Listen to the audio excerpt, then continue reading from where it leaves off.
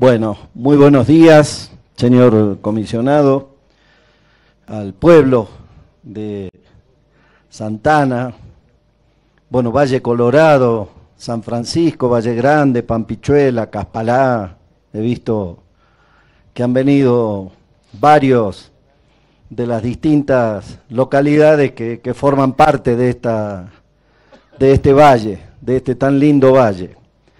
Eh, señor ministro Colo Risotti, señora ministra Natalia Zarapura, ministros de Cultura y Turismo, Seguridad, Gogi, presidente de Vialidad, querida Tulia, mi compañera, eh, director del ENACON, señores diputados provinciales, a los trabajadores y trabajadoras de Vialidad, a todos los que realmente han hecho y han forjado este, este logro y este sueño, como decía Gogi.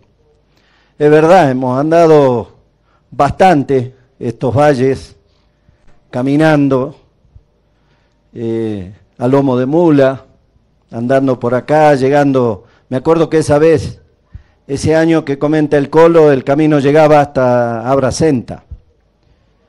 Y bajamos salimos tipo 11 de la mañana, caminando, y llegamos a la una de la madrugada acá.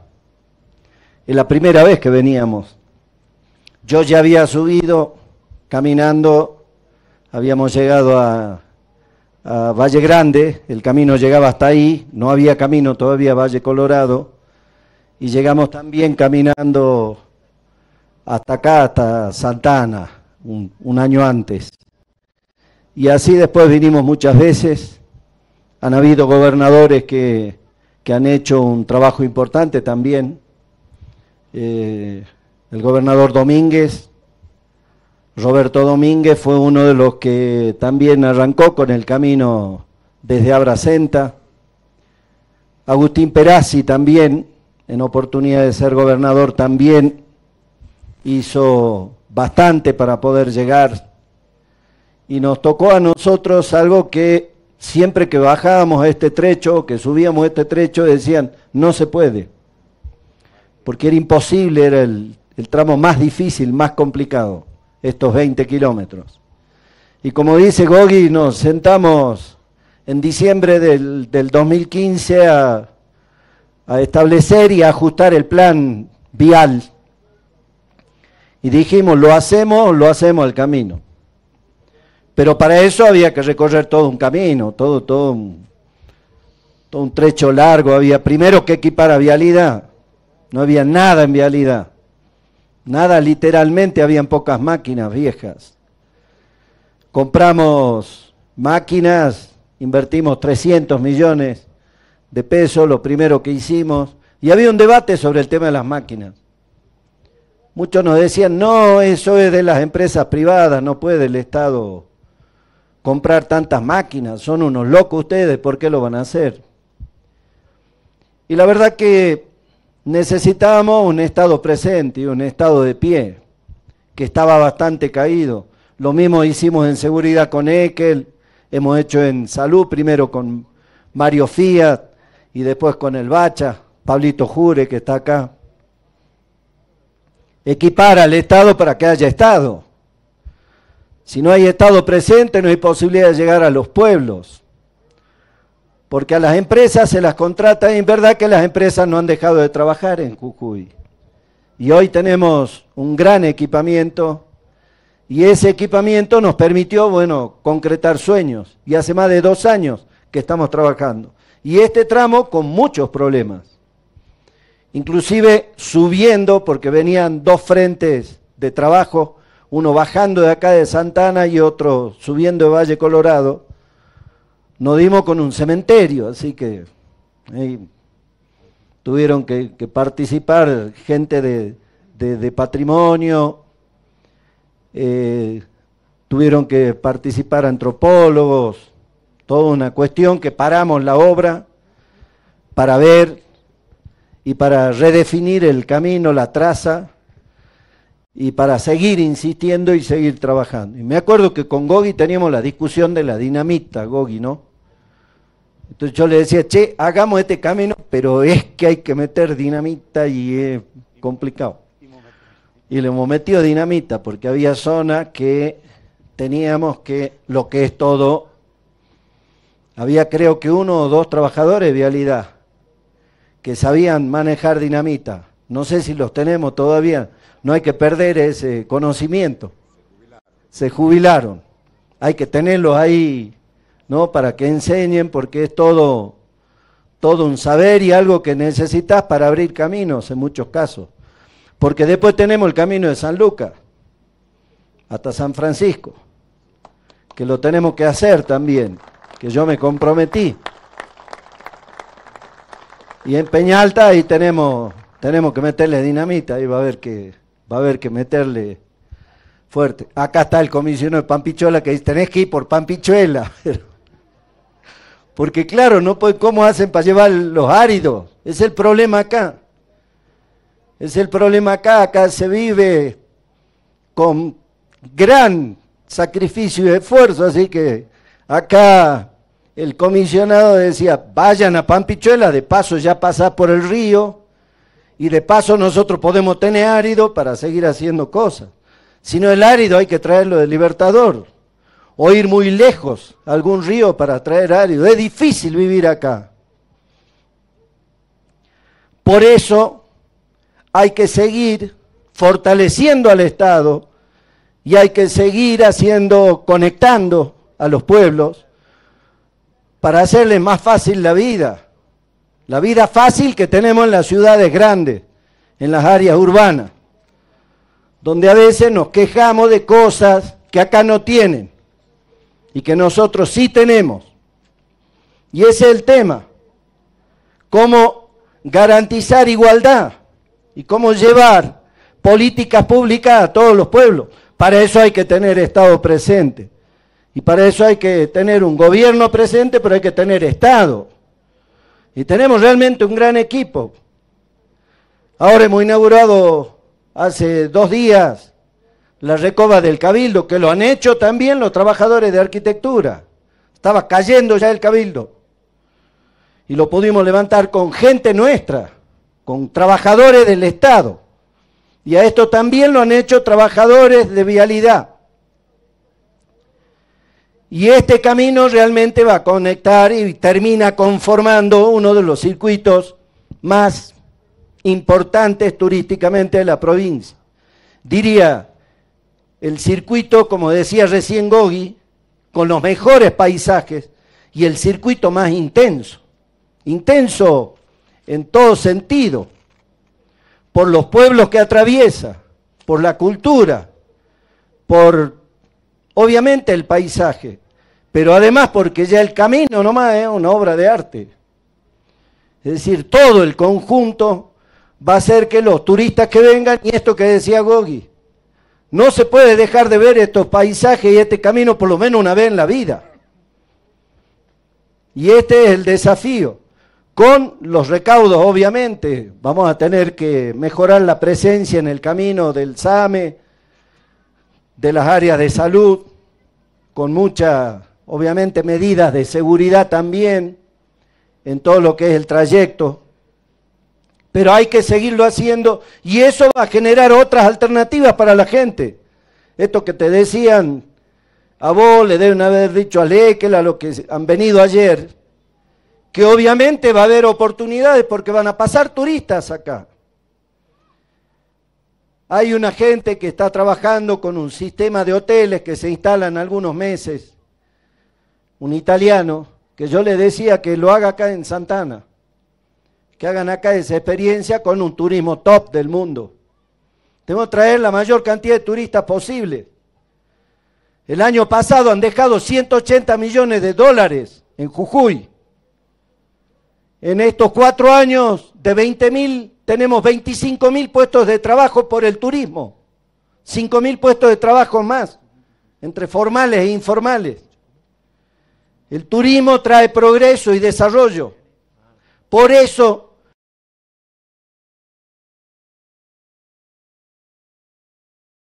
de unión, de que no hayan cortes de ruta, de que los que se quieran expresar lo hagan pero respetando al otro, donde sigamos reafirmando la cultura del respeto y la cultura del esfuerzo y la cultura del trabajo. Este es el camino, ese es el rumbo que ha empezado a transitar Jujuy desde 2015, que no vamos a frenar y no vamos a dar pasos para atrás.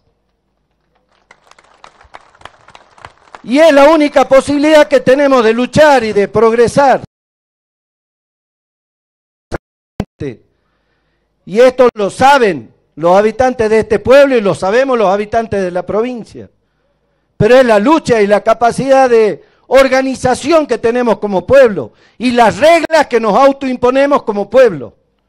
Reglas de respeto, de cumplir con la ley, de mirarnos de otra manera, de garantizar la diversidad, de que está bien que pensemos diferente, porque vivimos en una sociedad democrática y sería muy malo para nosotros que pensemos todo igual. Y pero que en ese marco del pensar diferente también haya respeto. Esas son las reglas que nos tenemos que autoimponer, porque cortar rutas y agredir a los turistas como ha pasado en Iguazú. Esos dirigentes de organizaciones sociales que le pegaban a los turistas, esos turistas no vuelven más a Iguazú. Y no vuelven más a dejar plata a Iguazú. Y pegarle o agredir o generar ese tipo de conflictos es como pegarse un tiro en el pie. Es como autoagredirse. Por eso es que necesitamos mantener la paz, la cultura de la unión y seguir progresando. Y le decía a Daniel cómo íbamos con la, con la conectividad. El año que viene vamos a tener 4G en nuestros pueblos. Vamos a tener conectividad. Me acuerdo que veníamos y había que subirse al cerro ahí en San Francisco, era la única conexión. Estábamos en San Francisco, acá me mire el, flaco, porque había que subirse un cerrito donde por ahí enganchaba señal con personal. Después si tenía otra, otro, otra empresa no podía, no podía comunicarte. Había que subirse un cerro y ahí estaba. Y si te movía un poco, no enganchabas. Es así. Así se vive acá. Por eso va a haber más posibilidades, va a haber más estado presente y el año que viene vamos a tener acá conectividad, vamos a tener en Santana, vamos a tener en Valle Grande, en San Francisco, vamos a tener en Caspalá y el año que viene empiezo la ruta que hemos hecho por Alonso, que ya hemos llegado a Alonso, estamos ya en el Abra de Yala de Monte Carmelo, ¿sí, Gogi? Estamos en Quebrada Amarilla. Y vamos a venir desde ahí a Caspalá también. Acá hay gente de Caspalá, vamos a hacer también, va a haber dos variantes. Va a haber la variante por el Hornocal, Abra Senta para venir acá. Y va a haber la variante desde Huacalera por Alonso para venir a Caspalá directamente. Pues ya me habían agarrado muchachos, los amigos de Caspalá y me decían, allá está llegando la gente de Caspalá. Me decían de Caspalá, pero gobernador, si usted nos hace la conexión va a venir mucho turista, porque como hay que desviarse a Caspalá, uno puede venir directamente a Santana y para ir a Caspalá hay que desviarse y luego volver a retomar el camino. Así que el año que viene arrancamos con esa ruta y va a haber dos variantes, los turistas van a poder recorrer, llegar a Alonso y meterle a Caspalá y vía Caspalá llegar acá a Santana y después bajar y conectarse con las yungas. Realmente una experiencia fantástica. Eso es lo que tenemos que hacer. Y esto es lo que estamos logrando con este sueño que concretamos. Que no es un sueño nuestro, es un sueño fundamentalmente de los pueblos, de los que viven acá en el valle y que la verdad que es un gusto como gobernador llegar acá a inaugurar estos 20 kilómetros de camino sé cómo han tenido que trabajar, hemos venido, hemos hecho una pacha. Cuando estaban ahí en un tramo del camino, vinimos, estuvimos acompañándolo a los trabajadores, así que felicitaciones a los que son los que han forjado esto, que son los trabajadores vialidad, para los que pido un fuerte aplauso. Y bueno, Daniel, a vos y a tu pueblo y a todos los pueblos de este departamento tan lindo que tenemos, que hay que descubrirlo, que hay que venir a verlo y que ya tenemos una ruta que conecta nada más ni nada menos que la quebrada Patrimonio de la Humanidad con el Parque Calilegua y con, con el Valle de San Francisco, que es la yunga jujeña. Así que la verdad que un gusto, felicitaciones, gracias al pueblo que han atendido tan bien a todos los trabajadores de vialidad, han hecho, han conformado en todo este tiempo una, misma familia, porque así es la gente de los valles, son una misma familia. Se dan una mano en todo, se ayudan en todo, así que a seguir consolidando esta forma de vivir, que es vivir en paz, en unión, de que nos pongamos codo a codo para resolver todos los problemas que tenemos y que tendremos en el futuro. Pero que sigamos apostando a esto, a tener Estado presente, a que haya gobierno, no solo provincial, sino de los municipios que estén al lado del pueblo y al lado de la gente. Ahí está llegando la gente de Caspalá, un aplauso para la gente de Caspalá. Le decía amigos, le decía amigos de Caspalá, que el año que viene, como ustedes ya saben, ya muchos de ustedes han ido con Gogi, con Conejo, que no lo he visto, y con Humberto. ¿Dónde anda Conejo? Bien, Conejo. Humberto, que ya han andado con Gogi y muchos vecinos de Caspalá marcando la traza por dónde va a ir el camino. El año que viene arrancamos con el camino que llegue desde Yala de Monte Carmelo a Caspalá, amigos de Caspalá. No van a quedar ahí en medio camino. Los turistas van a pasar, van a tener que pasar por Caspalá para llegar acá a Santana, se lo merecen. Así que bueno, a disfrutar de esto, andar con precaución en todos estos caminos, tranquilo, no anden rápido, ¿no es cierto? Es que no anden rápido, tómense todo el tiempo, saquen fotos, miren el paisaje y a disfrutar este camino. Muchísimas gracias, felicitaciones a todos los que forjaron este hito. Gracias. Muchísimas gracias, señor gobernador.